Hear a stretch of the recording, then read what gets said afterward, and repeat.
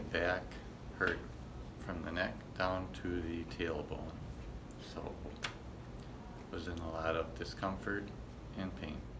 Um, pretty much everything. It impacted my work because it was painful to work.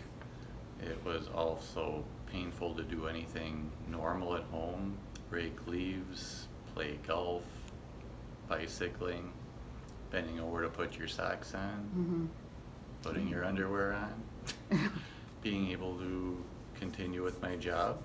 Um, that was a big concern because that's your livelihood, and if you can't do it, what do you do after that?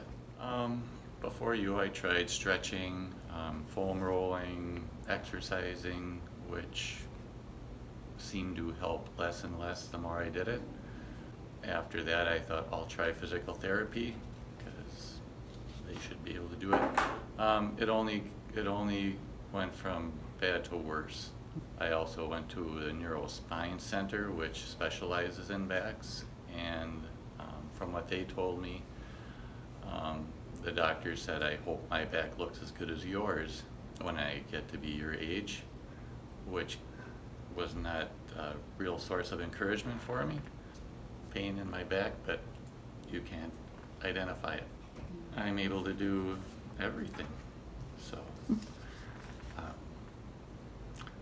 I never thought I'd be able to say that again, but I can probably do things better than I did before I started having this problem.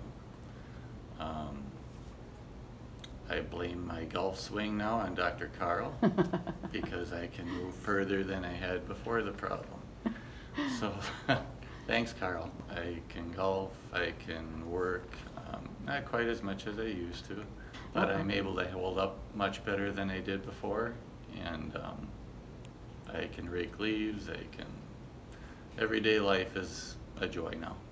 Just like to thank God for leading me uh, to Dr. Carl. Um, he's been a blessing to me in my life, and uh, like I say, he's more than a doctor to me. He's uh, he's uh, he's brought my life back to where I can live again and live, uh, enjoy, and um, the things that I used to take for granted, I don't anymore. So I'm very thankful to him and for everybody here um, who's been a good source of encouragement. So.